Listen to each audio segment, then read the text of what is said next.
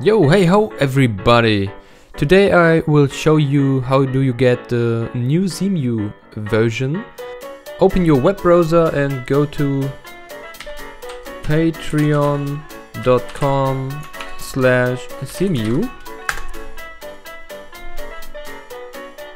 Um, on this side you can spend money for the project and if you spend more than $5 you get the access to the, the exclusive access to the new Cemu versions one week before the public releases. I already done this. The Cemu version 174 is released on the 2nd of April, today.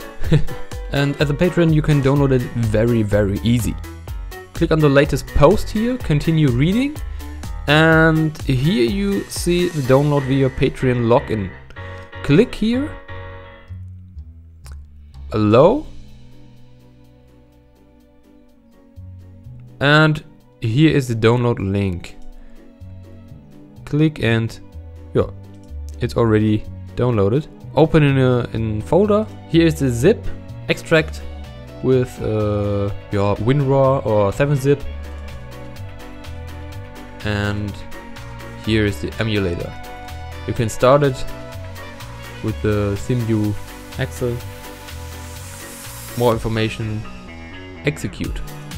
And this is the Patreon build Cemu 174B.